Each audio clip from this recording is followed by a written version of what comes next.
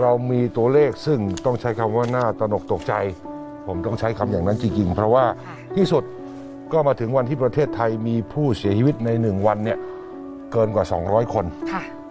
ไม่เคยมีวันไหนที่รู้สึกว่าจะต้องมาพูดคำนี้เลยฮะ ที่จะต้องบอกคนไข้ว่าหมอไม่รู้จะทำยังไงแล้วว่ะ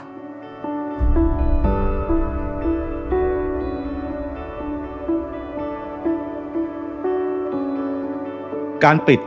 เป็นเรื่องผิดธรรมชาติครับ ปิดโอกาสในการเข้าถึงข้อมูลที่ถูกต้อง ปิดโอกาสในการแลกเปลี่ยนความเห็น วัคซีนอยู่ไหนครับ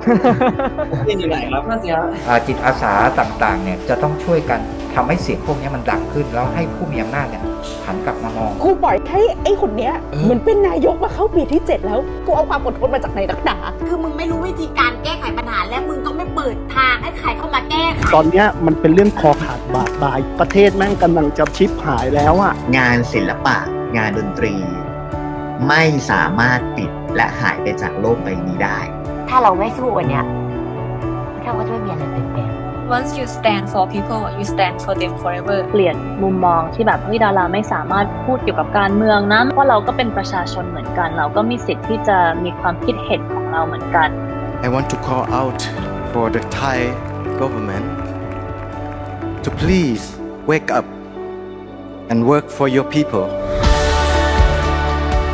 มีราคาสูงไม่ใช่เหรอสำหรับดารานักแสดง คุณให้ราคาสิ่งเหล่านั้นมากกว่าชีวิตเพื่อนมนุษย์ในประเทศคุณหรือเปล่า ดูคุ้มมากเลย จริงที่ออกมาแบบพูดเพื่อทุกคนแล้วแบบ ทุกคนก็สู้เพื่อหนูอะสู้ต่อไปค่ะอย่าไปยอมไปหวังว่าจะมีคนเห็นความจริงมากขึ้น และไม่อยู่เฉย